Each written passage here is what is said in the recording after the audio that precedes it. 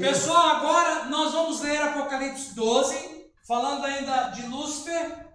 12, versículo 7 a 9. Do amigo do Lula? É. 12, 7 a 9. Quem lê para nós, por favor?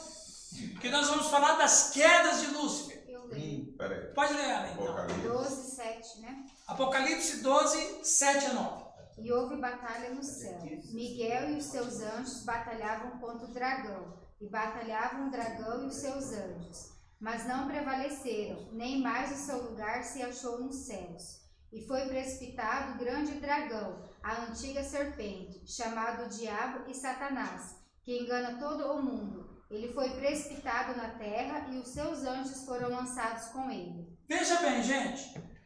Ah, é feito então ali como o pastor Calixto falou. Então a gente, eu fiz aqui um resumo da história de Lúcifer no céu. Pegando os textos bíblicos, pegando interpretações e fazendo um resumo de Lúcifer no céu. Então nós temos esse resumo. Ele tenta então a, assumir para ele uma semelhança ao Altíssimo ele consegue desvirtuar uma terça parte dos anjos que a gente não sabe como que seria esse tanto esse número de anjos. E aí agora, prestem atenção, existe uma queda. Ele na verdade tem duas quedas. A primeira está aqui do verso 7 a 9. Agora aqui, gente, ó, presta atenção aqui, ó. Dos versos 7 a 9 há um período existente. Este período foi antes de Adão. A primeira queda dele é antes de Adão. Apocalipse 12, 9. E foi expulso o grande dragão, a antiga serpente. Ele já está, exatamente. Que se chama Diabo e Satanás. O sedutor de todo mundo. Sim, foi atirado para a terra e com ele os seus anjos. Agora, preste atenção. Olha o detalhe. A gente precisa ler a Bíblia nos detalhes. Ele foi atirado? Terra. Então já existia terra. A terra já existia. O dinossauro, ele arrebentou o dinossauro. O quê? Então, aí vai. Aqui às vezes parece a escolha do professor Raimundo. né? Igualzinho. Quem é Edileus aí? Então veja, né? Se ele foi atirado para a terra, a terra já existia aqui e é um detalhe que o João está nos oferecendo. Já era redonda, porque quando ele apareceu lá, de Ló, ele falou: Eu vim te rodear. Rodear a terra, exato. E tem outro detalhe. Aqui, aqui a gente entra, a gente entra, a gente entra no que se chama teoria do intervalo, ou do hiato, ou da lacuna, ou do gap em inglês. Gap é pulo, né? Gap é o quê? Gap. Gap, pulo. Pulo, pulo. Então tá, é a teoria. Onde que está essa teoria? Gênesis 1, 2. Tem um- Exato. Nesse intervalo, o que, que aconteceu? Há correntes majoritárias, né? Ah, vão dizer, vai dizer, que é onde aconteceu a rebelião aqui. E aqui já tem o homem. O que o Moisés faz é só detalhar. Aí você vai ler lá. No princípio criou Deus os céus e a terra. Bereshit bara Elohim. No princípio criou Deus os céus e a terra. Ponto. Mas dá a impressão que a terra não era habitada por seres. Era só um planeta. No princípio criou Deus os céus e a terra. Bom. Aí então o que, que acontece? Satanás é expulso do céu, vem para a terra, que já era criada, porque o texto vai dizendo que foi atirado para a terra. Aí é uma teoria. Aí você vai por vários caminhos, né? Você escolhe qual. Então essa conta que, que eles fazem, os estudiosos da Terra tem milhões de Eu não anos. acredito. É. Eu não acredito que a Terra é jovem. 10 mil anos. Isso eu não acredito e acho ridículo qualquer pessoa fazer essa afirmação. Ela não pode ter. Porque até mesmo nós, nós não sabemos, por exemplo, o tempo já, né, foi criado, o tempo foi criado. No, no quando você diz no princípio, ó, o princípio já é tempo. Só pode ter princípio quando tem tempo. Não é isso aí? No princípio, já tem tempo então. Criou Deus os céus e a terra. Ponto. Agora vai ser a pergunta, né? Quanto tempo que levou Adão para pecar? Quanto tempo? Quanto tempo? Então a gente. Bilhões! Talvez. Eu acho bilhões talvez não, mas milhões, eu acho que a gente está na casa dos milhões. Até porque aquele mapa ali até mostra, né? Que era Isso, aqui é a Pangeia e tal. Veja, vamos aqui. Então, aí diz a teoria o seguinte: isso é importante vocês saberem como uma informação, tá? E uma interpretação também. Que quando diz lá, no princípio criou Deus os céus e a terra. Ponto. No versículo 2 vai dizer o quê? A terra era sem forma e vazia, mas Deus não vai criar uma coisa. Pensa uma coisa sem forma, não tem nem como você imaginar isso aí. Vazia, tudo bem, mas sem forma.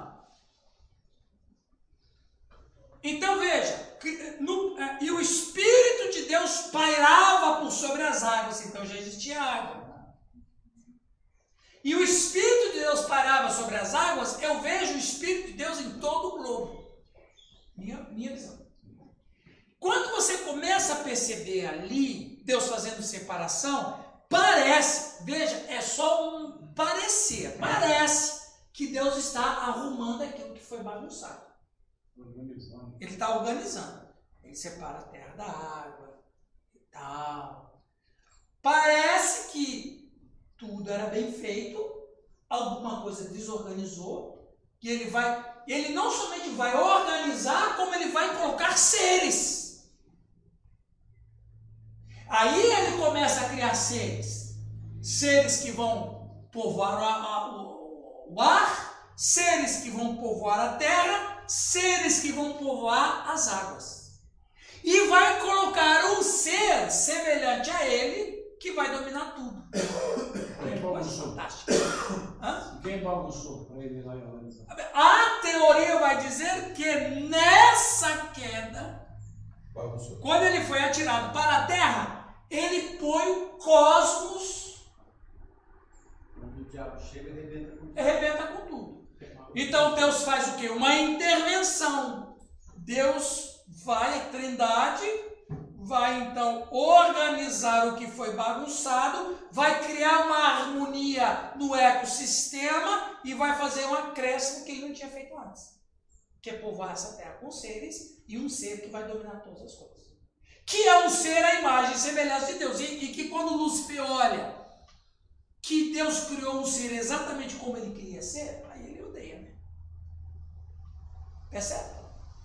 Bom, mas isso aí é algo de Gênesis, eu só estou aqui. Mas é, mas é interessante, a fala anterior falou que era aqui na terra o jardim dele.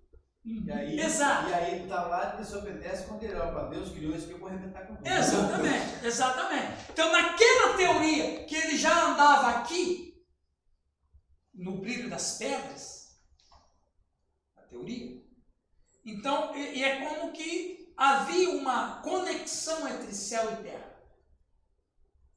E que quando ele foi agora, você não você vai ser expulso, não vai vir mais para cá. Quando ele é atirado para a terra, ele, com ódio, arrebenta tudo. Deus depois vem, vem organizar, e pelo menos o texto, se você ler Gênesis capítulo 1, principalmente 1, você vê que Deus vai organizando mesmo e acrescentando coisas que não tinha antes. Essa, pelo menos, é a ideia que a gente tem. Ok? Posso pôr a pregação do pastor Nilton aqui para domingo. Aí, ó. Onde o diabo chega, se arrebenta tudo. Exa e é verdade. né? Continuando. Nos versos. Agora, agora é o que, de Luiz? Pastor Luiz, o pai do Timóteo, submisso da Brena. Preste atenção. O verso 9 a 10, o, o verso 7 a 9 é um tempo antes de Adão. O verso 10 a 12 é um tempo depois de Adão, para além do nosso tempo. Vamos ler isso? Por gentileza, aí, Nilton, vai ficar mais claro isso que você está falando. Vamos ler dos 10, 10 a 12? Por Os favor. dinossauros, né? Os legal dinossauros. lá. O Marquinhos Luciano falou que é os Os dinossauros já estavam lá na criação de Deus. O berramonte que diz Jó. Agora, tem outro detalhe, deixa eu botar uma. Deixa, eu- deixa eu só colocar uma coisa doida na cabeça de vocês. Eu vou jogar. Eu vou jogar uma gasolina, vou riscar um palito e vou cair fora. E vou cair fora. Eu acredito que o Adão e Eva, eles eram pessoas gigantes. Eu acredito. Cadê o H2O lá? Por causa de um monte de coisas. Exatamente a questão teológica e até mesmo a questão científica. Porque os, os, os cientistas, eles dizem, eles afirmam que houve um período na Terra que o oxigênio era O4. E que permitia que os seres pudessem viver muito tempo. E como é que eles descobriram isso? Pelos fósseis, pelas pegadas, pelos dinossauros. Então, os dinossauros habitavam junto com os homens, não, não vejo nenhum problema, porque os homens não eram do tamanho que a gente tem agora. Mas eu não vou entrar nesse detalhe, né, porque isso aí é, é antropologia. e eu- Especulação. né, isso aí não. Fala, Caio! Tá? Ok, do lapsus. Lapsus.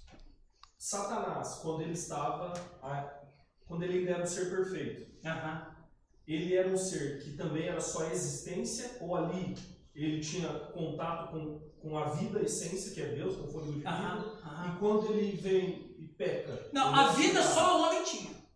Tá.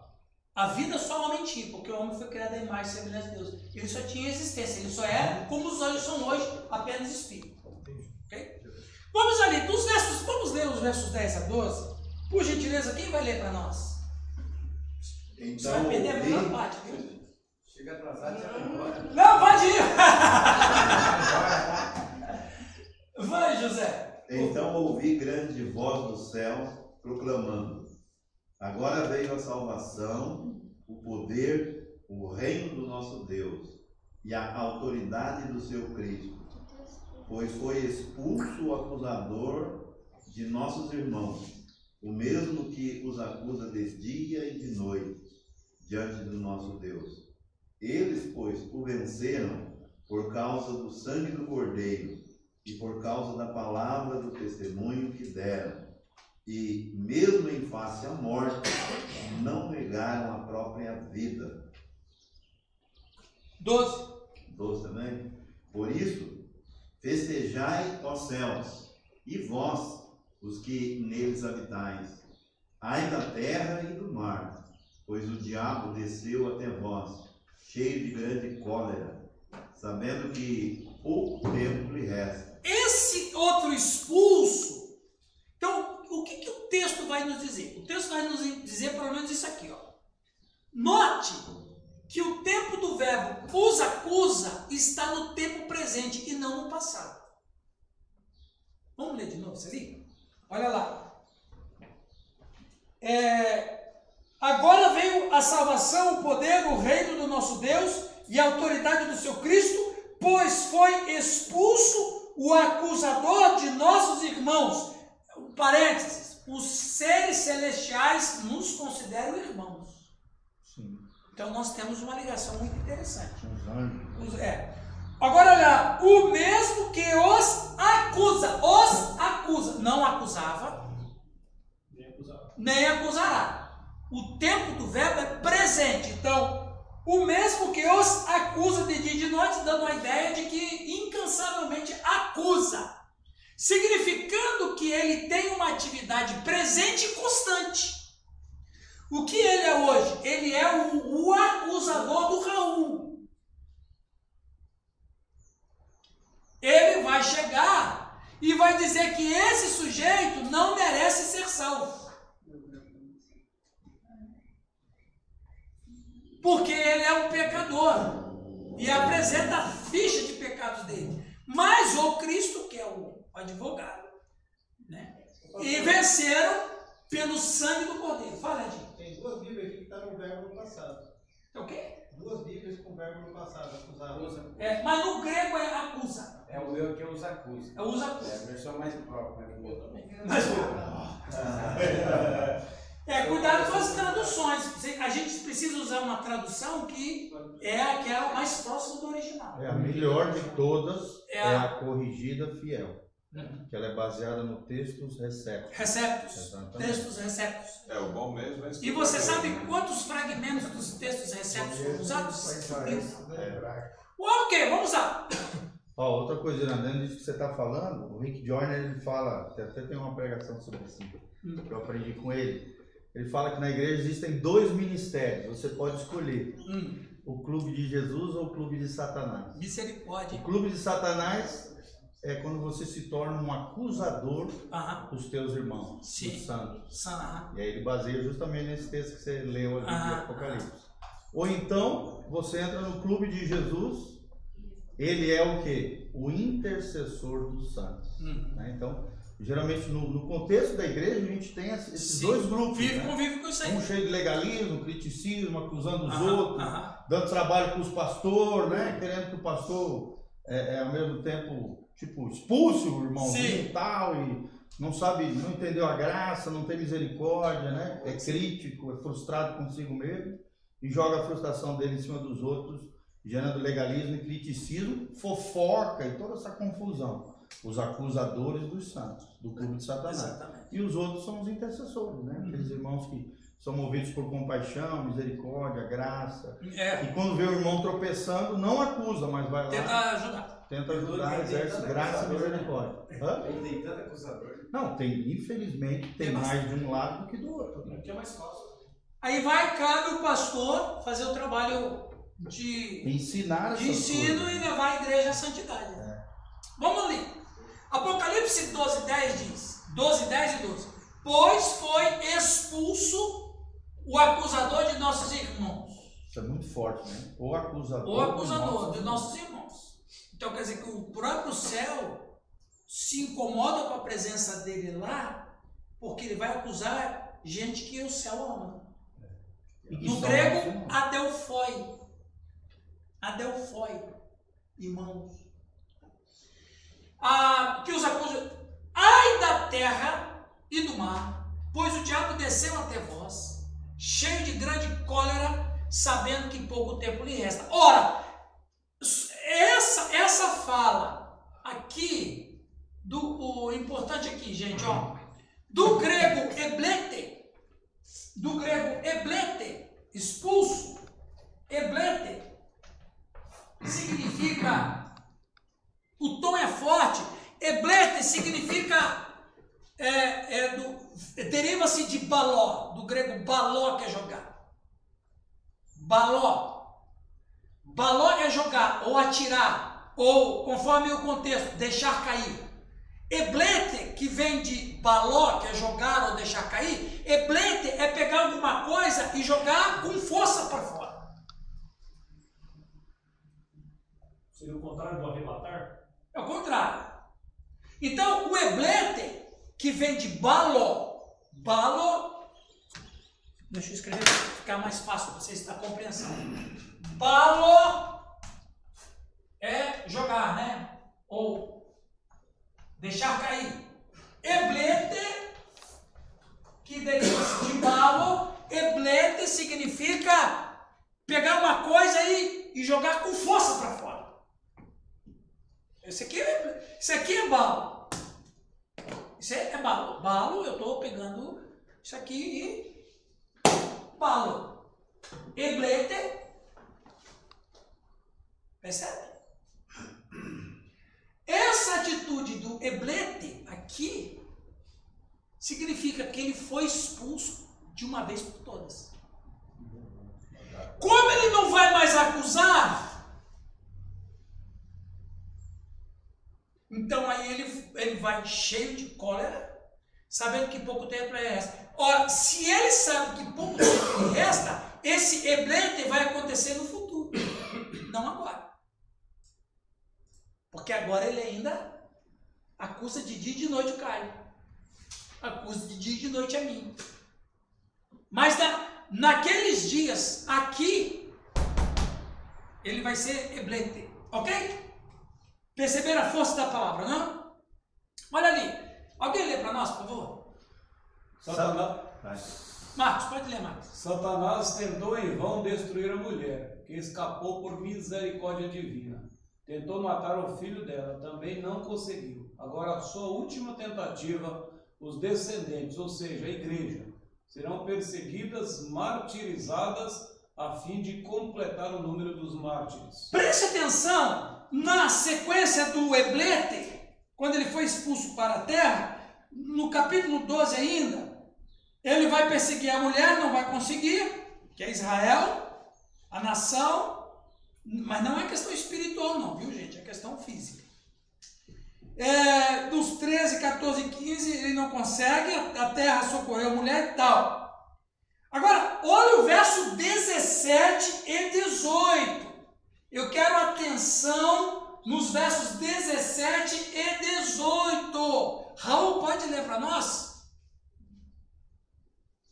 Desse No Apocalipse 12, versículo. 17 e 18. O dragão ficou furioso com a mulher e foi combater contra o resto dos descendentes dela, isto é, aqueles que obedecem os mandamentos de Deus e são fiéis à verdade revelada por Jesus. E o dragão ficou de pé na praia. Preste atenção, gente, está acontecendo uma coisa fantástica aqui. É, é, alguns não tem. E esse versículo 18, você vai ler no Apocalipse 13, 1. Olha lá o 13, 1. Tá aí, não tá? Exatamente. Então veja. Esse 17 e 18 diz muita coisa. Satanás só vem perdendo, perdendo, perdendo, perdendo, perdendo, perdendo, perdendo, perdendo, perdendo. Vai chegar um dia que ele vai ser expulso. Então, ele vai tentar contra Israel e não consegue. Mas ele vai tentar ali, gente, contra os descendentes da mulher. Agora preste atenção. Em Apocalipse capítulo 12, a semente da mulher não é outro senão Jesus Cristo. Ponto. Agora, aqui no grego, esse versículo 17 está no grego. Ok? Ah, esse versículo 17 é tão interessante que eu só quero essa palavra aqui. Essa palavra aqui está aqui. Onomos tom e tolém. Onomos tom e tolém. Onomos tom e tolém. Nomos, a gente sabe o que, que é. O que, que é nomos do grego? Lei. Lei. Regra. Lei. Não, aí que é diferente. O, o, regra não é. Lei. Regra é entolém. A lei, nomos, nomos, significa um conjunto completo. Isso é nomos no grego. No grego, nomos é um conjunto completo. Entolém é um mandamento. Aí sim, Giovanni, uma regra. Então tem diferença entre nomos e entolém. Nomos é um conjunto total. Entolém é um preceito. Por isso que os, né, os, preceitos do Senhor, né? Não é tudo. Então, a lei é tudo. Em Tolém é alguns pontos dela. As nuances. Né? As nuances. E aí ele vai dizer aqui, no grego, ele vai dizer que os descendentes da mulher é, é o entolém guardam os mandamentos de Deus. Ele não está dizendo a lei. Que a lei é impossível. Mas quem são? São os entolentes. Ou, ou o que, que disse lá Jesus?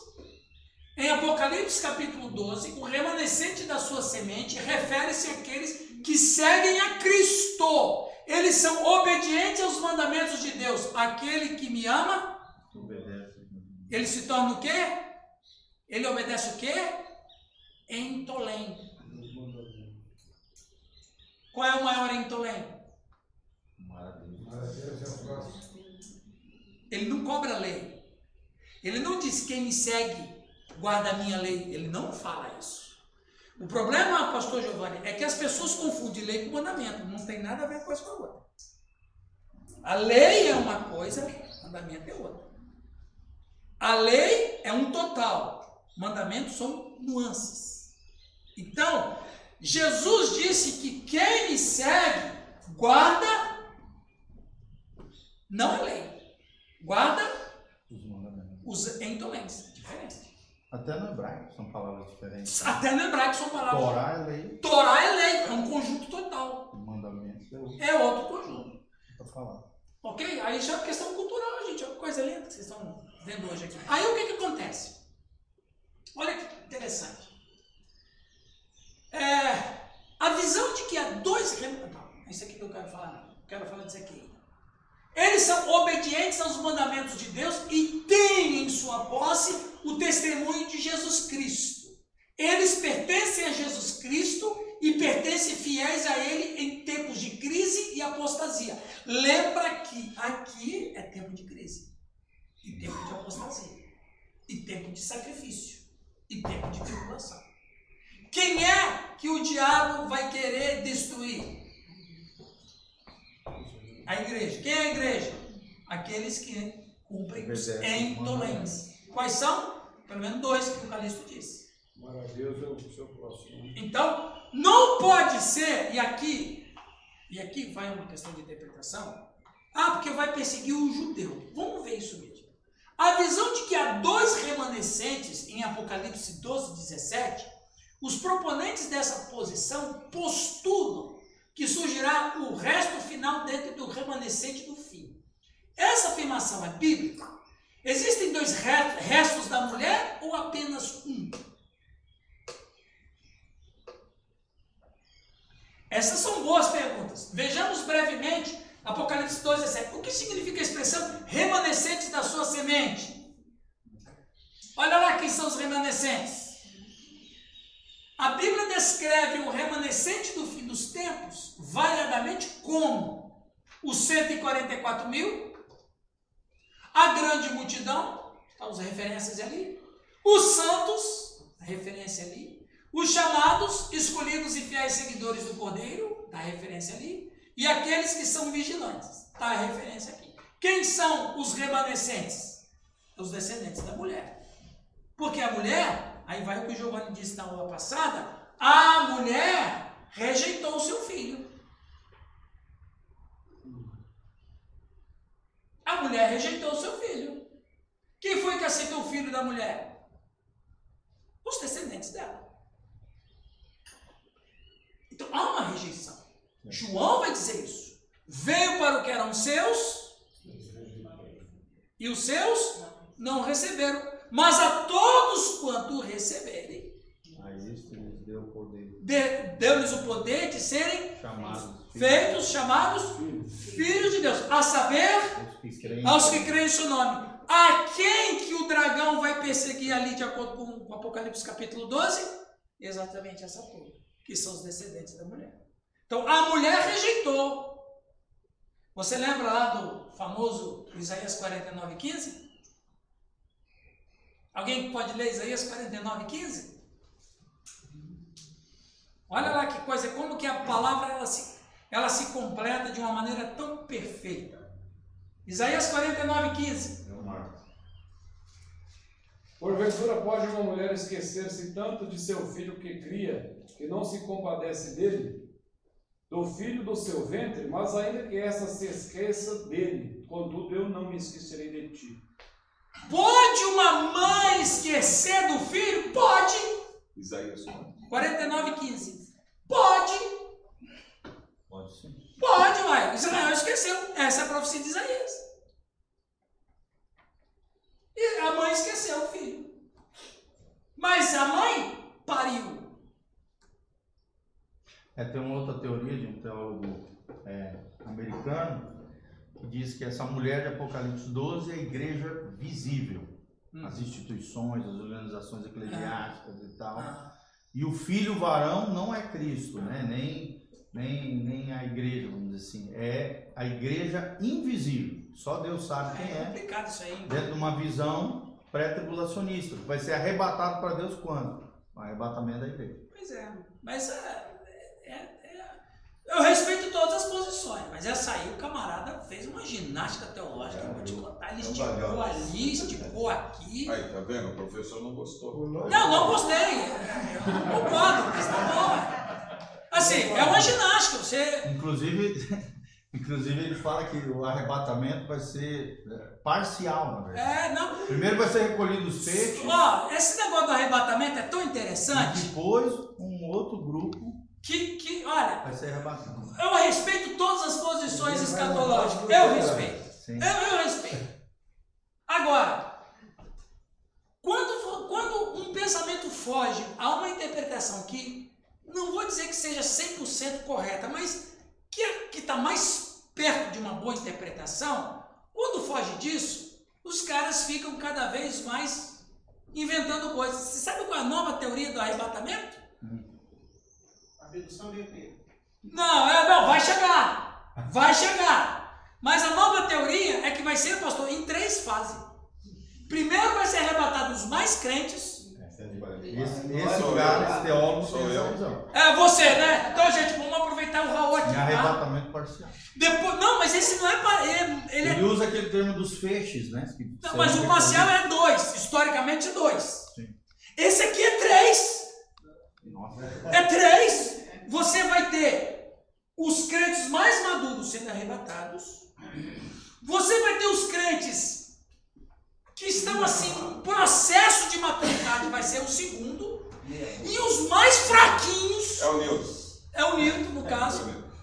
Então, quer dizer, é a história do, dar- do- do darwinismo. O darwinismo oficialmente foi lançado em julho de 1800 e, e- 80 e pouco. Não, de 1859. 1859. Julho, com o livro né, A Origem das Espécies. Em 150 anos depois, não conseguiram achar o elo perdido que o Darwin disse que tinha. Você sabe o que aconteceu em 2009, do aniversário de 160 anos? Fundou-se um novo darwinismo, que o outro já não convenceu ninguém. Pensa, né? Agora tem um novo darwinismo, que começou em, em- em 2009. Quem Então, é você não pode mais falar darwinismo. Agora é novo darwinismo, porque o outro não convenceu ninguém. É o Neo. É o Neo agora. Então, quando, quando não se estabelece uma coisa assim, bem assim, você começa a ter outras Atalhos, sub, né? é, outros atalhos. Porque não- isso aqui não está respondendo. Mas se, se o departamento é assim, por que, que vai ter isso? Como é que vai ter aquilo? Não, então não é bem assim. Então vamos, vamos ampliar. Aí vai para o parcial. Agora, tri, trici, é, é, parcial em tripartite. Fala. Ah, ele, aqui um parênteses aqui, uma novidade. Ah, Para nós aqui, né? É, tendo um conhecimento desse que nós estamos tendo, profundo, né? Caramba, chegar lá na- no dia e a gente negar o Cristo, aí tem que ser bem capetoso mesmo. Então, assim, hoje, você pode ver que o caminhar da igreja, muitas igrejas não tem mais escola bíblica. Não, não, não, não, não, não. Não tem. Então você pode ter aí capetosos de gravatinha e tal, bonitinho. Por quê? Porque está levando a igreja a não conhecer a verdade.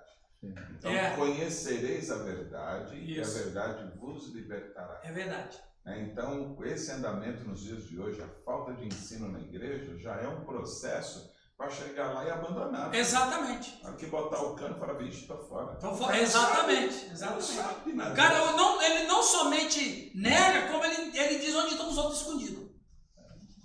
É nesse nível. Vamos adiante aqui que eu, eu quero entrar no 13 ainda. Você vai no primeiro. O remanescente. Alguém lê para nós, por? O remanescente surgiu em tempo profético, com uma missão profética. Eles têm uma mensagem profética, um evangelho eterno para proclamar ao mundo, ah, para proclamar ao mundo. E eles se tornam o alvo principal da última guerra do dragão, do fim dos tempos, conforme descrito em Apocalipse 13. que a gente vai ver em Apocalipse, né? Então, Apocalipse 12 é parte de uma batalha mais significativa que continua até o fim. A luta aumenta em frequência e intensidade até a vinda de Jesus. É o grande conflito entre Satanás e os seguidores de Cristo ao longo da história humana. Culmina no ataque tríplice do dragão a Jesus Cristo, a semente da mulher, a própria mulher e, finalmente, o remanescente da sua semente no fim dos tempos. Vai chegar. É, é, nossa, ficou ruim ali, né? É, Apocalipse 12, 17 aponta inequivocamente para o remanescente da semente da mulher como um grupo do fim dos tempos que ama a Deus e é fiel a Ele. Isto fica claro na guarda de seus mandamentos e no testemunho de Jesus. Eles têm uma identidade, uma mensagem e uma missão para que os que vivem na terra e to a toda tribo, nação, língua e povo. Gente, ah, preste atenção. Eu acho muito significativo. Só quero entrar aqui no capítulo 13, que é um capítulo miolo da, do Apocalipse. Tá? É, vamos ler aqui com um- uma atenção devida na besta do mar.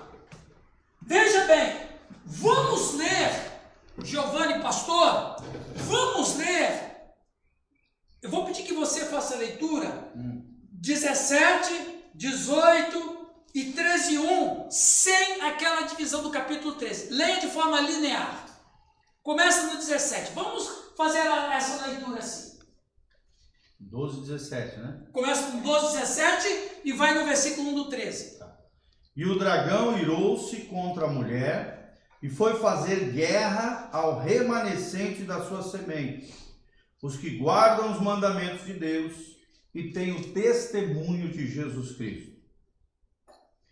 E eu pus-me sobre a areia do mar e vi subir do mar uma besta que tinha sete cabeças e dez chifres, e sobre os seus chifres dez diademas, e sobre as suas cabeças um nome de blasfêmia. Preste atenção. Ele, daí ele, ele é eblete.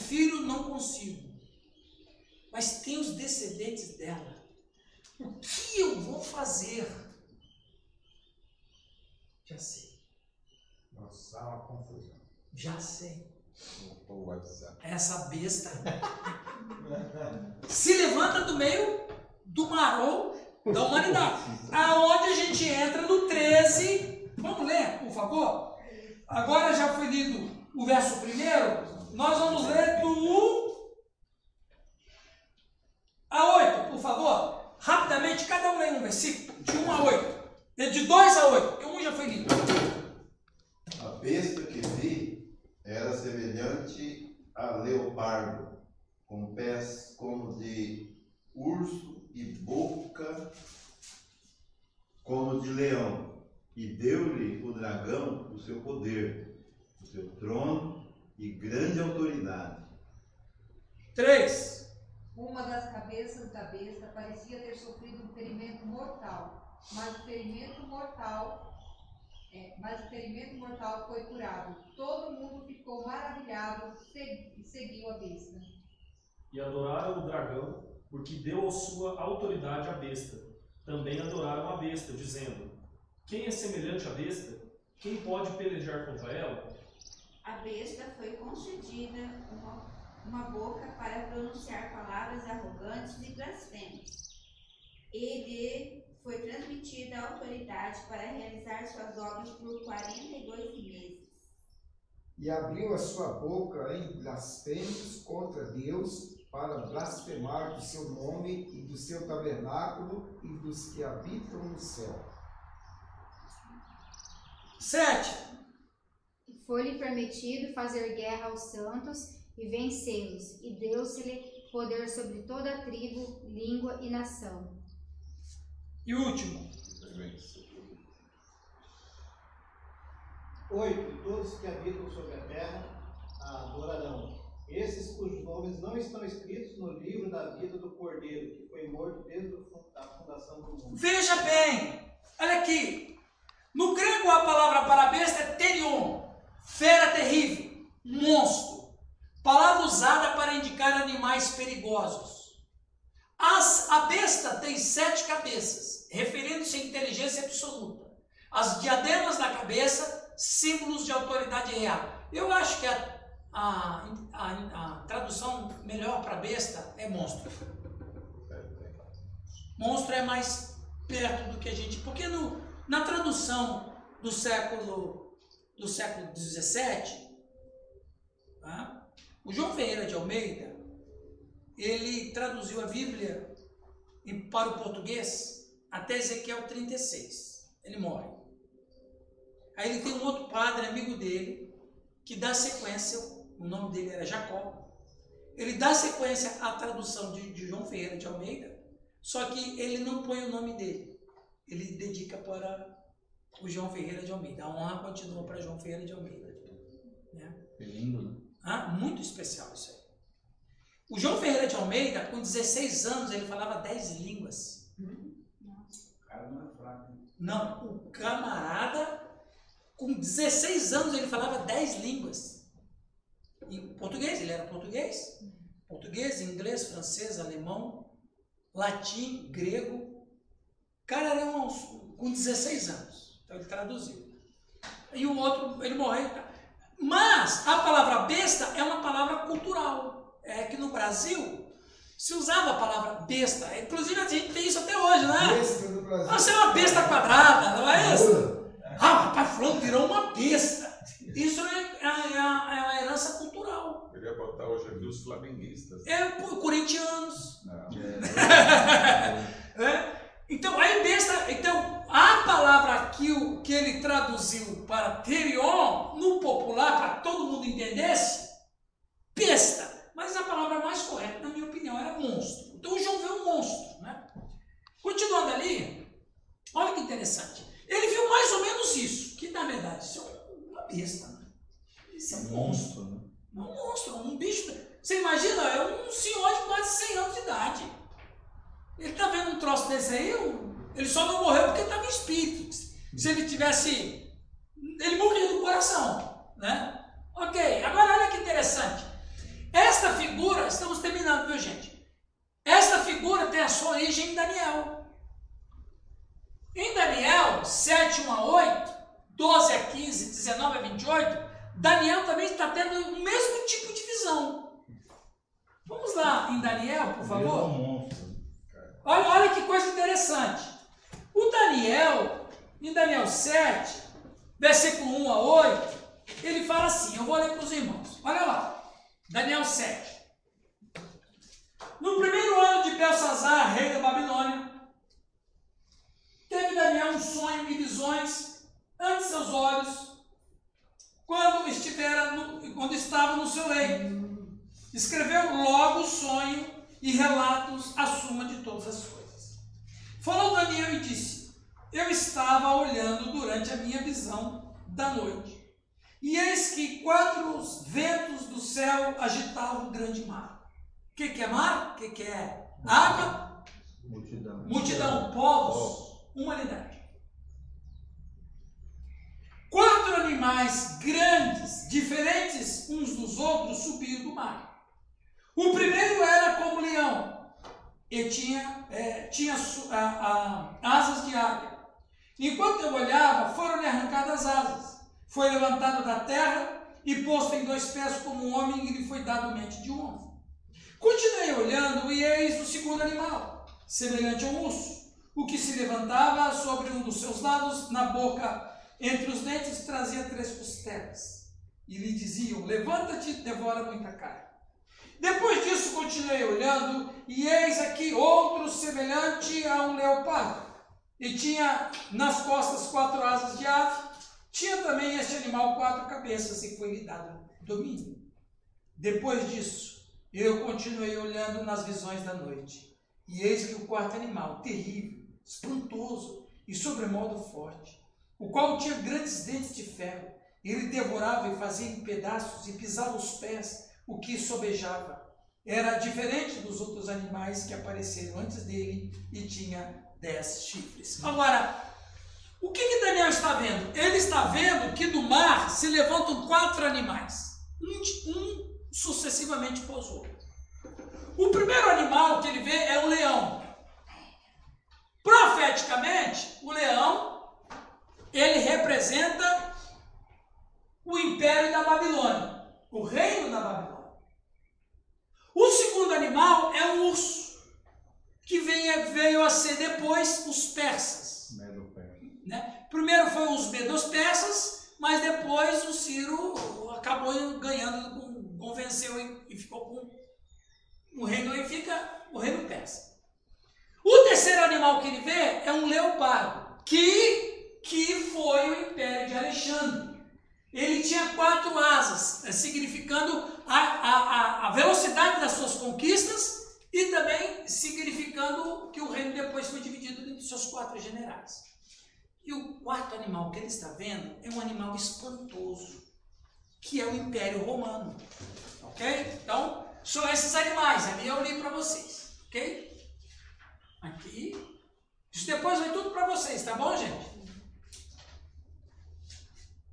Esse, ele veio mais ou menos isso, no sonho dele, né? É, um leão com duas asas, a Babilônia, um urso com três costelas na boca, né, o persa, o leopardo com quatro asas, quatro cabeças, isso aqui, e o animal terrível e espantoso, esse aqui. Ele não encontra no catálogo dos animais que animal é aquele.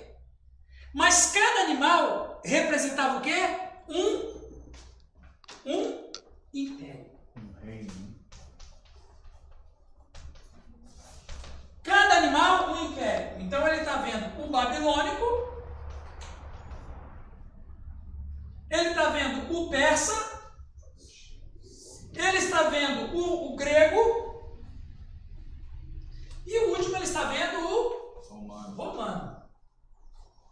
Ok? Ótimo, guarda isso aí. Agora, quando você vai para Apocalipse 13, vamos voltar? Apocalipse 13, olha lá. Apocalipse 13 tem uma coisa interessante. Versículo 2, por gentileza, alguém leia. Luiz, leia o 2 para nós. Apocalipse 13. 2. E a besta que vi era semelhante ao leopardo, e a seus pés como os de urso, e a sua boca como a boca do leão. E o dragão lhe deu-lhe seu poder, o seu trono e grande poder. Veja bem, Daniel vê um animal sucessivamente o outro. João vê tudo junto. E outra, a, qual é a conexão da besta vista por Daniel e João? Cerca de 600 anos, olha para frente.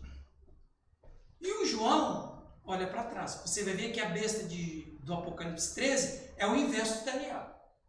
Daniel é leão, urso, leopardo e um animal espantoso.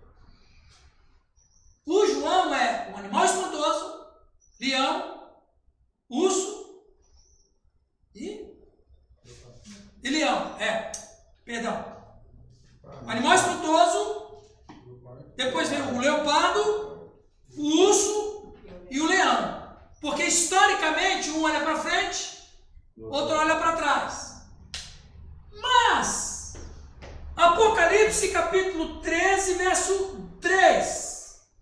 Por gentileza, alguém leia para nós? Estamos acabando com aqui. E viu uma de suas cabeças como ferida de morte, e a sua chaga mortal foi curada, e toda a terra se maravilhou após a besta. O que que, na verdade, o dragão está fazendo na beira do mar? Levantando um império. Que vai ser o império Do anticristo.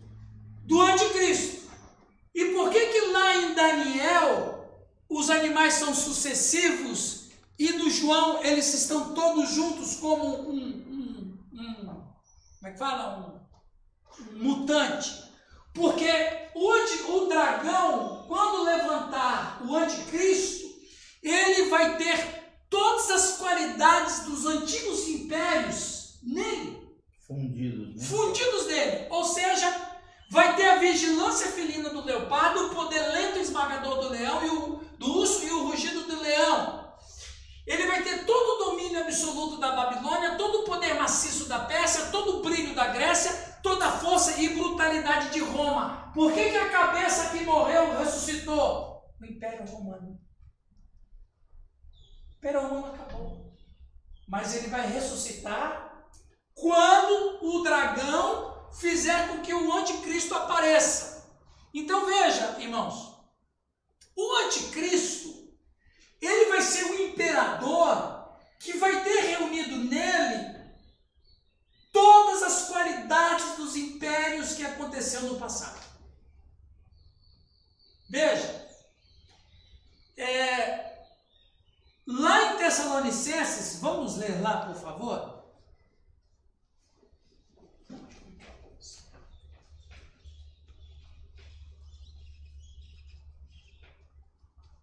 Lá em Tessalonicenses, 1 Tessalonicenses, por favor, irmãos, quero, eu quero concluir nosso, nosso aula com isso aí hoje para vocês voltarem com fome esse próximo. É, Segunda Tessalonicenses capítulo 2. Olha que coisa grandiosa. Segunda Tessalonicenses capítulo 2. Irmãos, no que diz respeito à vinda de nosso Senhor Jesus Cristo e a nossa reunião com Ele nos ares, nós vos exortamos a que não vos demovais da vossa mente com facilidade, nem vos perturbeis, quer por epístola, por espírito, quer por palavra, quer por epístola, como se procedesse de nós, supondo tenha chegado o dia do Senhor. Aquele problema que o Raul levantou na última aula. Raul.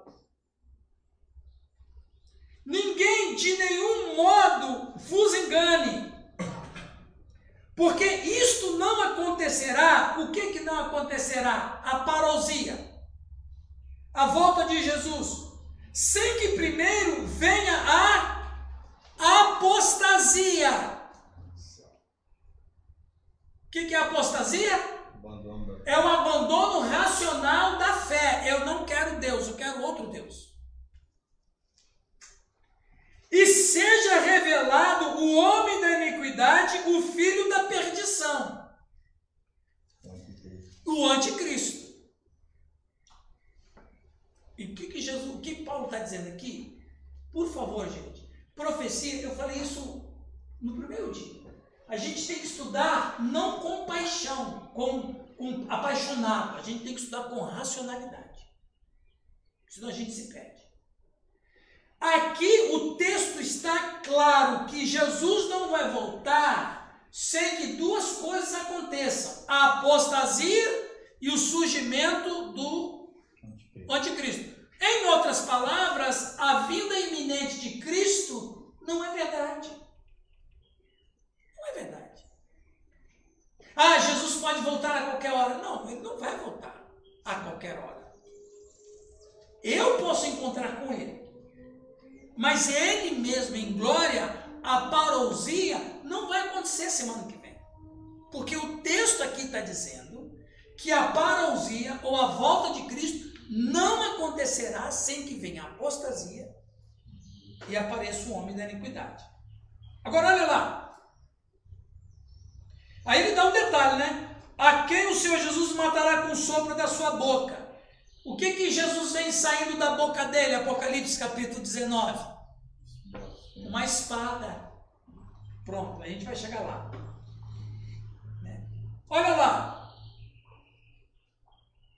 Tá, eu até antecipei, adiantei, mas não era lá isso que eu queria ler. É, tá bom. O qual, verso 4. O qual se opõe e se levanta contra tudo que se chama Deus. Apocalipse, capítulo de número 13, versículo 4. Vamos lá, lê lá. Eu sei que vocês estão cansados, gente, mas é importante. deu a besta o seu poder e adoraram a besta, dizendo: Quem é semelhante à besta? Quem poderá trabalhar contra ela? Isso. Ô Luiz, aproveita e leia o versículo 6. E abriu sua boca em blasfêmias contra Deus, para blasfemar do seu nome e do seu tabernáculo, entre os que habitam o céu. Veja lá, Tessalonicenses 2, 4. O qual se opõe e se levanta contra tudo que se chama Deus ou é objeto de culto. 13, de 13, 6. E abriu a sua boca em blasfêmia. Está combinando ou não está? Sim ou não? Sim. Está. Mas, a ponto de assentar-se no santuário de Deus, ostentando-se como se fosse o próprio Deus. Aqui está uma interpretação importante, pastor Giovanni, que, que já estudou isso aí, e que é chave para a gente entender bem Existe a linha dos pré-milenistas que dizem que o anticristo vai reinar em Jerusalém quando o templo vai ser reconstruído. É isso aí? Sim. Baseado nisso aqui. Mas esse versículo interpretado desse jeito não encontra resposta na escritura. Porque se restaurar o templo, tem que restaurar Moisés. É baseado em Ezequiel 36 e 37. Também. Não é, é, Ezequiel 36 e 37 fala da restauração da nação que aconteceu com Ciro. Mas é um dos argumentos que eles É um dos argumentos, mas é frágil. Por quê? No terceiro tempo. Por, mas então, vai perdurar no período tribulacional. Isso, mas e também no milênio usa esses argumentos, que qualquer argumento pode ser bíblico, ele pode ser forte ou fraco. Por que, que eu digo isso? Vamos ler, olha, eu vou ler o final do 4. O final do 4 diz assim: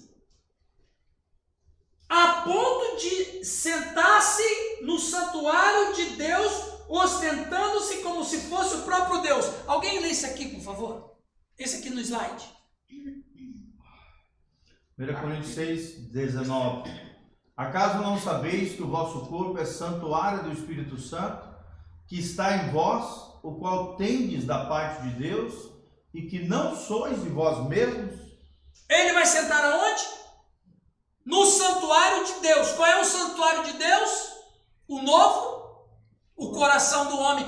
Olha lá, Apocalipse capítulo 13, versículo de número 4 e adoraram o dragão, porque deu a sua autoridade à besta, também adoraram a besta. Exatamente o que Paulo disse. Exatamente o que Paulo está dizendo. Que ele vai se assentar no coração do homem como se fosse Deus. E ele será Deus junto com Lúcifer. E a terra toda adorar o dragão. Onde é que é adorado? Onde é que um Deus é adorado? Não, não. No coração do homem. No coração do homem. Qual é o santuário que ele vai habitar? O coração do homem. Por que, que eu digo isso? Porque Paulo está dizendo que é um santuário. Então não vai ter tempo restaurado em Jerusalém. Não é concebível isso. Ele vai, ele, vai, ele vai estar sentado. E eu quero encerrar a aula, a gente vai falar mais dele na próxima aula. Israel tem, né? Até hoje o Instituto do Templo. Tem. E, e nunca se levantou em dois mil anos. E não vai levantar. Porque Deus não quer. Ah, mas a gente tem que considerar historicamente também que eles ficaram mil anos. E o quê? Mais de mil anos. 1941. Primeira vez que né? É. Ah, é, e é um detalhe isso aí, mas eu tô falando do tempo. Gente, deixa eu terminar. Do quê? Essa buzininha. Ah! Ainda tem Ó! Pastor, você vai confessar aí? Pastor, acredita que o anticristo já está? Não, ainda não. Eu acredito que já tem projeto. Então, talvez até exista, não sei, mas que está chegando. Então, irmãos, aqui. Essa informação eu preciso dar hoje. Depois do dia 30. Não, o Lula Eu não vou dar mais informação nenhuma. Eu vou falar, eu vou falar isso na próxima aula. Pastor, Fala, Luiz. A visão luterana é que nós já estamos no milênio, né? Sim. Não, na verdade não é visão luterana. Na verdade, tem muito batista que crê no, no amilenismo, eu vou falar disso. Presbiteriano. Presbiteriano crê no amilenismo, não é uma visão luterana. Tem luterano que não crê no amilenismo. Então, o amilenismo, ele não é uma doutrina fixa. Ele é a doutrina de, do professor, ele é a doutrina do pastor. Ele não é uma doutrina como o batismo. Na verdade, amilenismo, pós-milenismo e pré-milenismo não são dogmas. São crenças. Dogma é inflexível. Posicionamento. Posicionamento. Mas, gente, eu vou falar do anticristo com mais detalhes na próxima aula, ok? Vamos orar, agradecer a Deus e agradecer a Deus pelo alimento. Viu, Luiz? Se você quiser aprender bem sobre o amilenismo, você não pode faltar no capítulo 20, ok? Vamos agradecer a Deus. Amém. Pastor Giovanni, por favor, já agradeço o alimento. Pai, no nome de Jesus, nós queremos te agradecer por esse tempo juntos, de comunhão, debaixo de uma visão do reino, debaixo de uma visão na tua palavra, Pai, diferentes perspectivas com relação à volta de Cristo Oh, e os eventos ainda que hão de vir. Deus, nós colocamos tudo na tua presença, tendo a tua palavra como fundamento, Cristo Sim, no centro de todas as coisas. E, ó Deus, queremos nos consagrar ao Senhor. Aleluia. Possamos ser estudiosos da tua palavra. Possamos ser como os, os irmãos de Bereia, Sim, Pai, ó Deus. fidedignos diante do Senhor nesse sentido, estudiosos. Ó Deus, é, apreciadores da- do- dos Aleluia. teus mandamentos, Pai. Que o Senhor nos, no- ache em nós corações fiéis nesse sentido, para que possamos, ó Deus, conduzir o teu povo na Amém. verdade que liberta o teu povo de todo o mal e de todo esse tempo terrível que Sim, nós Jesus. estamos vivendo. Pai, desde já, também oramos, ó Deus, pelos alimentos, Oh, santifica, santifica, nos abençoa, Pai, e abençoa cada pastor, cada Aleluia. ministério, obreiros, obreiras, do Senhor, da seara do Senhor, em toda a nossa região, em nome de Jesus. Amém. Amém. Amém. Obrigado, meus